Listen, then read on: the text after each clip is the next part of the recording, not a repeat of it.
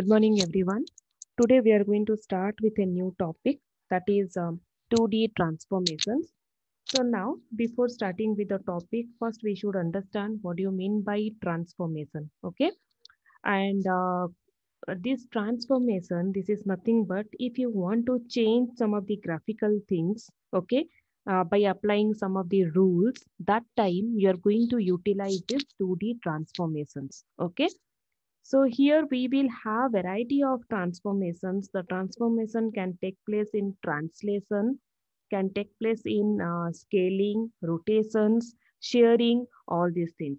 When you are going to apply this transformation on two-dimensional object, that time this is known as your 2D transformations. And if you want to apply any of the change there towards your three-dimensional, that is known as your 3D, okay? 3D transformations. So that you may get the question in your question paper, uh, like uh, to explain about in detail about 2D transformation, or else you may get the question as your 3D transformation. The mechanism of both 2D transformation and 3D transformation are same. Only here you are going to use X and Y coordinate system. And in 3D transformation, you are going to use x uh, and y and z coordinate system. Okay? So this is only the difference in between your 2d transformation and 3d transformation. Here you have to remember one thing. Transformation in the sense you are making some change and also you are going to reposition some of the graphical object. Okay? When i'm telling about the reposition of graphical object that is going to uh, that that's going to take place in your screen okay? So that time whenever you are writing the program you have to give the screen size you have to give the orientation size to transfer to transfer any of the object from one coordinate points to another coordinate points okay? So we will see in detail now now, uh, these are the overview which we are going to complete it. So why we want these transformations, what all are the basic transformations are there. It can be your translation, it can be rotation, it can be your scaling. One more transformation is also there that is shearing that also I will explain you. Once you will understand about the transformations, combining all these transformation, we are going to have some of the uh, coordinate uh, matrices that is your homogeneous coordinates and your transformation matrices okay? So this also will be a different question of 10 or 12 marks that is also very important question. And also we are going to represent everything in terms of your matrices. So we are going to start with this. Now you just observe what is my what my diagram is saying now. So now here you can see one train is there right and the train is designed very uh, like a lighter way that there you can see the rectangular boxes are there. Some around three rectangular boxes are there and some four circles are there. So in your program in your lab program you can try this kind of train in the next class. Okay we can write the code of this. So this is a train now so what is happening now if i'm going to consider the uh, origin of your train, let me consider this is my original point or origin, okay? So now what I'm going to do, so from your origin, I have these wheels and each of the wheel will have again the origin point, okay? So here also wheel is having origin point and in this train, this is the center point, okay? So now what is happening? You can see how how I'm going to design this axis. This axis, whenever you are writing in your program, that is nothing but it will call as your world coordinate system. Okay, so you have to remember whenever you are giving any of the point system, that is known as your world coordinate system. Okay, so next you can see here how I'm going to. So the world coordinate system from here to here, okay? You can see only I have this origin point or center point, which I'm going to write in my world coordinate system in my program. Okay, now I have done one more train here. Okay, so now in this train, what I have to uh, give? Now, this uh, same thing, if I'm considering this one in my graph paper, but in my screen. So this borderline, whatever you are seeing, that is my screen. So on my screen, if I want to place this one, the same diagram, so the coordinate values also I should give, right? So here I have to consider that one as coordinate system, as image coordinate system. Okay, so whatever you are representing in your graph paper, this is a diagram of train. So now the same diagram, you will have the world coordinate system. Same world coordinate system, if you want to transfer to your screen coordinate system, then you have to consider this x and y axis. Okay. So now what will happen? You can see the center point, whatever you have uh, written here, that one same, it is going, it's going to replicate over here. Okay. And you are going to draw it here. So now you can see, again, if you want to give the same train, but having some of the different uh, like axis and everything you can see this is just opposite of that right so that time how you are going to do same thing i'm just going to replicate here okay so i have two things now now if again you want to give so how you are going to give all these things inside your like uh, coordinate values. So here you can see the same coordinate values, only changing your x and y values, you can represent multiple times. Okay. So here we are doing the modeling concept. Okay.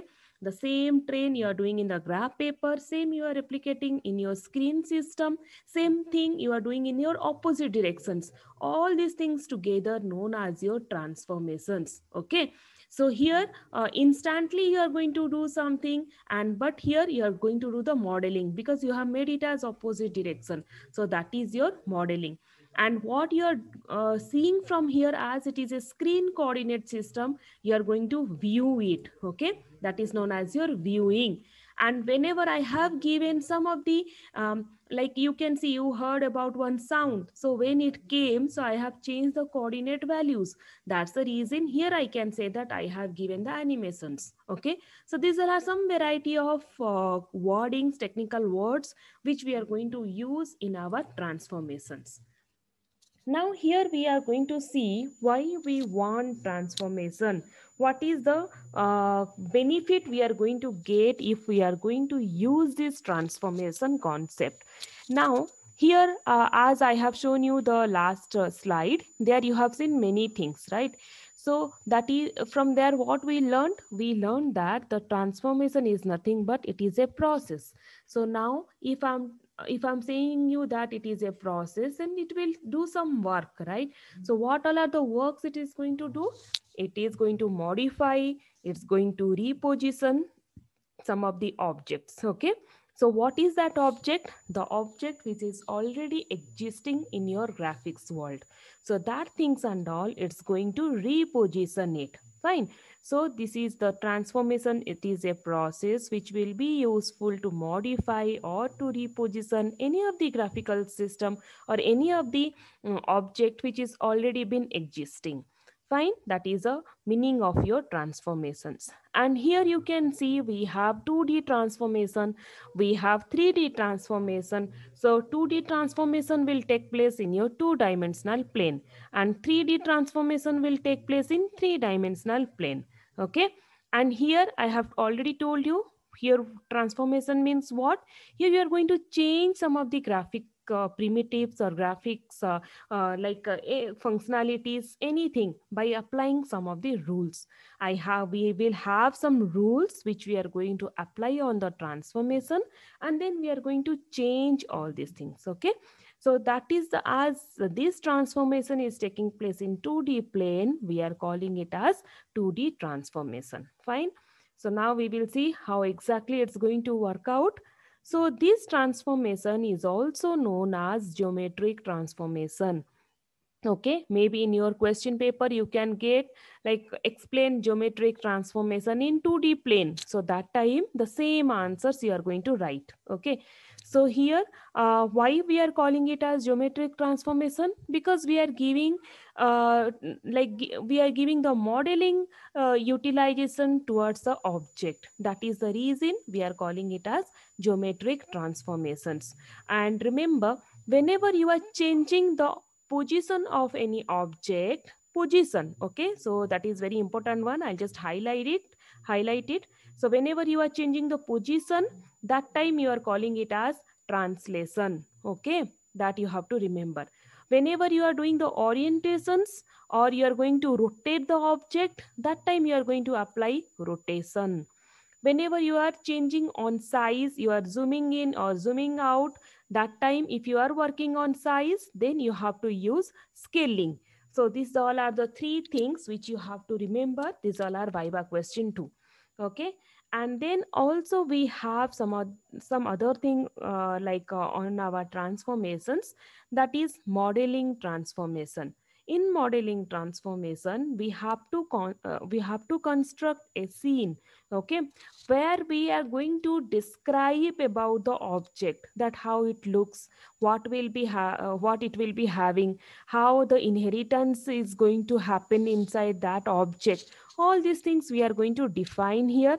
That is the reason we are calling it as modeling transformation.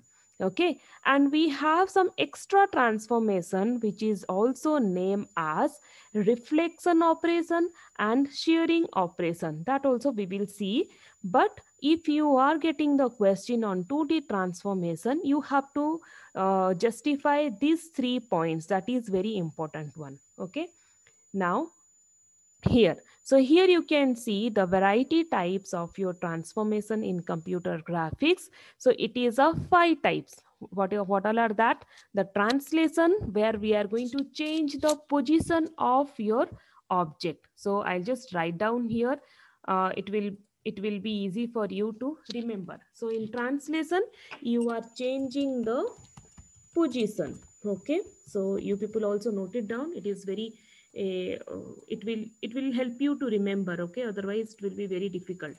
So you are going to change the positions. Now here for the rotations what you are going to do? You are going to simple way you are going to rotate the object right? Rotate the object. You can rotate the object. You can give the orientation also if you want to give the if you want to write orientation also it is fine. Okay now, the next thing will be scaling. Scaling means you are going to change the size of an object. So size in the sense it can, you can make it as um, bigger size, you can make it as uh, like a smaller size. That is your choice. Zoom in you can use or you can do it as zoom out. Okay, anything. Okay, so now these three things you remember now. Then the other transformations, we will read it very slowly. So now the next thing is one minute. I'll just change this. Otherwise it will continue in the next page also. Okay. So now we are going to move to the next slide. Here you can see the 2d translation.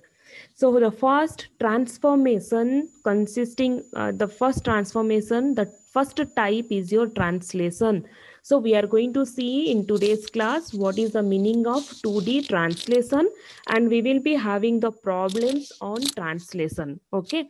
So here if you want if you have drawn a line segment okay so line segment in the sense you will have the two vertex point fixed fine so if you want to move that line segment then you have to apply this transformation concept what is that translation. So here you will have two endpoints and you are going to redraw that two endpoints in a new coordinate position because you are changing the coordinate values. Okay. So we'll see, I have the diagram, we'll see that. And suppose if you have drawn a polygon, okay. So here also, if you want to apply the transformation concept, then each vertex you are going to move to a new coordinate values in a new set of vertex coordinates. Okay. Then that time you can apply this transformation concept.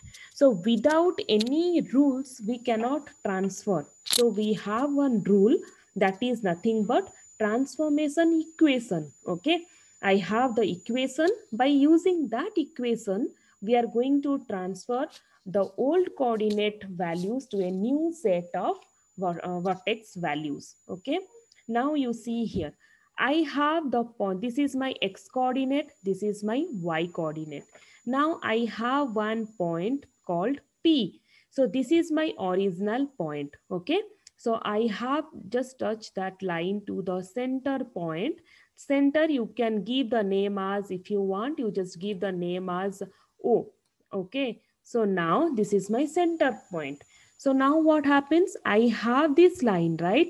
So now this point okay what is the coordinate value will be for this point? Now i this one will be your x comma y because this is in the coordinate values right?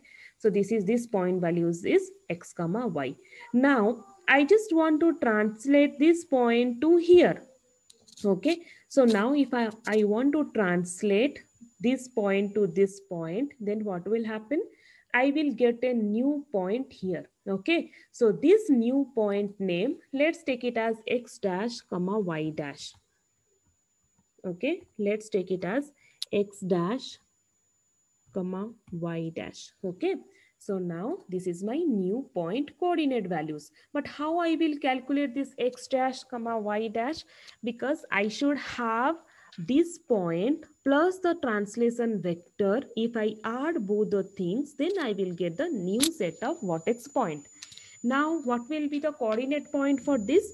You can take it as tx, okay, comma ty. This is my translation vector which I'm going to translate. Fine. So now you can represent all these things here. So now my translate vector, you have to write in this way. Okay. Here uh, in while typing, it's not coming, but you have to write in this way. The translator vector is tx comma ty. So this is called my t. The new vector will be, I have to add the uh, old point plus your translate vector. So P plus T will be this point, the new point. Okay. Let's consider this point as your P dash. So it will be easy for you to remember also. Okay. This is your new point, which is called as your P dash. So now what is the value of your P dash? That is equals to P plus T. P is the old point. T is the translation vector. Now, if I will consider about the coordinate values, then P dash is equals to P dash in the sense it will have again two values X dash and Y dash. So X dash value will be if I'll add only the X coordinate values then X plus TX and Y dash will be Y plus TY. Okay. And if I want to write it in the matrix form then P dash will be X dash in the below you have to write Y dash in this form.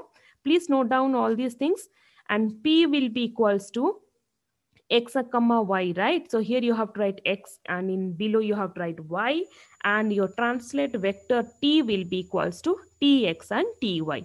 So in this way, you are going to represent your translate vector. Now we will see in the next slide. Okay.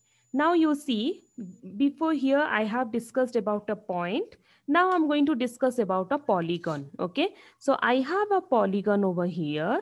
Okay. So now this polygon, uh, I just want to apply the translation uh, equation over here. So what I will do is this is my original points, right? So if you want to give the name, so let me give the name as, uh, here you can give the name. So let me take this name as A let me take this name as D. Let me take this name as C. So now what I'm going to do, I have the vertex point A, B, C. Now I'm just going to apply the translation vector. So this value, this point, this A point has to move to here because translation, whatever the distance you are giving, the same distance has to apply from mm, A also, from B also, from C also.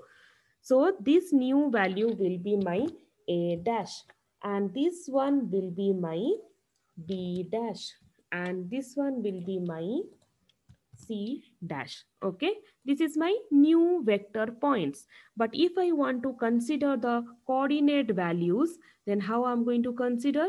For A, the coordinate values will be, let me take it as x1, comma y1, comma, let it to be 2D, 2D transform, 2D, uh, two dimensional values, x1, comma y1.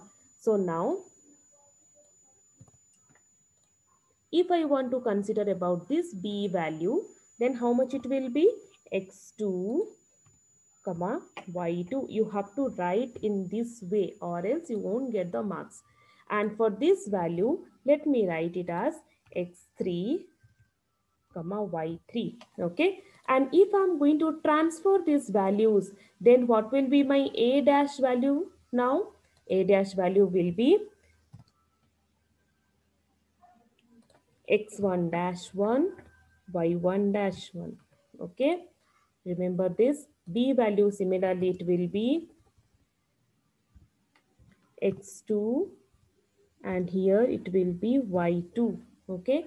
Similarly for c dash value will be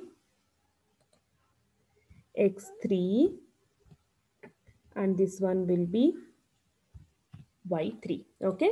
So these are my coordinate values. Now suppose if i want to write the equation i know that my vertex points are getting changed right? So my if i have taken the value as a then a value if i'm changing it then how much the value it value it will be?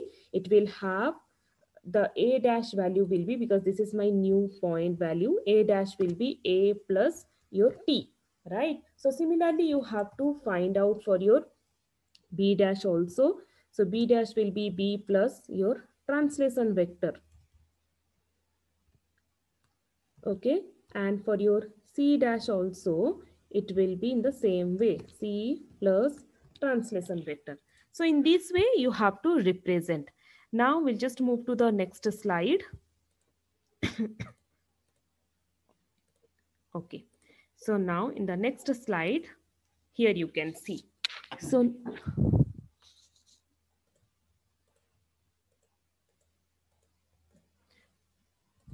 Okay, so here you can see I have an object over here that is known as my O and my translator vector is here. So the new point known, a new vertex point known as your O dash. So here, this is my x-axis value. This is my y-axis value. So in, in x-axis, I have given the name as x old and y-axis, I have given the name as y old. So for the new vertex point, it will have the new uh, coordinate values that is x new comma y new, which is getting added up with your translation vector that is tx comma ty. Okay, so now here you can see what how you're going to represent everything in your matrix form. So whenever I have considered if uh, like for the new vertex point, that time you have to add always the old vertex point with the translation vector. Okay. So here it means that it denotes that the translation is happening towards your x-axis. Similarly, in your y-axis, if you want to add y new equals to y old plus dy, it means that the uh, like the translation is happening towards your y-axis okay? So in this way you have to uh, like uh, you have to design your matrix form. How to write the translation matrix form? Here you have to write the new values that is x new and y new equals to x old value in the below you have to write y old plus translation vector tx and ty you are getting you are making it as adding. As you are adding this, you are getting your new value. But in your homogeneous coordinate uh, system, how we are going to represent in homogeneous coordinates, we have to do it for our 3 cross 3 matrix. So that is the difference from your translation vector so whenever you are going to write the homogeneous coordinate values uh, why we are doing it? Because here it will perform a sequence of transformations okay? It can go for anything like it can go for your translation it can go for your rotation it can go for your scaling also. So whenever you will write how to represent in as your coordinate values. Normally we will write as your x comma y but in your homogeneous coordinate system you have to represent it as your x comma y comma 1 okay that you have to remember. As i have written here 1 so in z axis form always i have to write 1 you see the difference here? This is my new coordinate values. X new y new. For your z axis you have to write 1 because it is a homogeneous coordinate representation. And if i want to replace in my uh, like 3 cross 3 then for your old point you have to write x old y old and 1 but in your translation vector you have to do the cartesian product okay? In translation vector you just remember for your last these two values will be tx and ty and the adjacent values will be your 1 the rest of the coordinate values will be 0 so in this way you have to represent. As it is tx so x coordinate value will be 1 as it is ty so y coordinate values will be 1 as the z coordinate is nothing is there so you are going just you are going to keep it as 1 just imagine about this part only. So here tx ty 1 only i have written okay? So as i have to represent in 3 cross 3 so i'm just taking this one here and putting over here okay so that is the difference here. So in this way you have to represent your homogeneous coordinate system. Moving towards the next one yes. Here this is the program on your translation routine. So here in this program you can see directly here the vertex point. If you want to get in your x-axis you have to do the uh, addition of your uh, old value with your translation vector and similarly for your y-axis you are going to add and you are going to add in your y coordinate values with your old coordinate uh, system. And all these things has to if you want to put it how many times uh, the vertex point has given. So take a for loop and put everything inside that. You can take the maximum of k less than n where this n value also you have to declare in before. Okay. So here all the vertex point has been declared and here you have to start if you are doing the polygon just start with the gl begin and gl end and write the vertex point. How you are going to get this vertex new vertex point? Whatever you have got from here. So you are going to keep it over here uh, separating by commas. And uh, how many k values you are going to take? You are going to repeat the process till it less than less than n. So you are using the for loop here. So this is very easy. See this is only the program whatever i explained you the lines two lines are there followed by your for loop. And if you are using gl polygon you write your vertex okay? If you are uh, using line you write in that way. Whatever you are writing whatever you are taking the shape of your object accordingly you are going to do it. Then the next slide. Here i have one example. Now you people are going to do this example so here I have given a given a circle C with radius 10 and the center coordinates are 1 comma 4. You have to apply the translation with distance 5. So you have already the old coordinate uh, points. You are going 5 towards x-axis and 1 towards y-axis.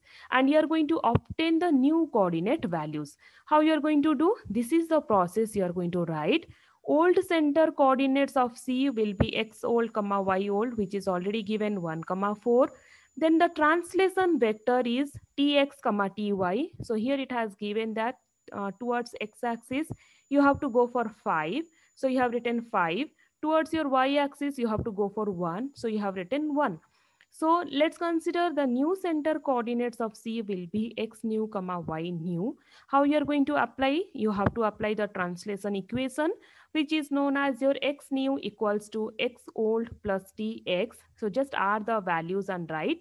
And similarly for your y-axis also you have to add and write. Then you are going to get your new center coordinate of c equals to 6 comma 5. And also one more way is there to write it in a matrix form. So uh, you can you know already this thing x new y new x old y old plus tx ty you are going to write. Then you are just uh, write down writing down the values x and y old values the translation vector values and you are going to just adding 6 comma 5 so this is your new center coordinates. This is the alternative way. Both the ways you are going to do and then you have to do the uh, like a graph like here any unit vector you can take and you have to uh, represent the old uh, value and then you are going to after uh, represent the new coordinate value after translating. So this is the example which you are going to do now. I have one more example where i'm having the square with four vertex point and you have some distance and you are going to obtain the new coordinate of the squares. So i have already the answers but we are going to check it out how it looks. Once it will be done you are going to do both the alternative ways then you are going to represent the graph okay how it looks like. So this is all about your 2d translations. I hope you people have understood this. Thank you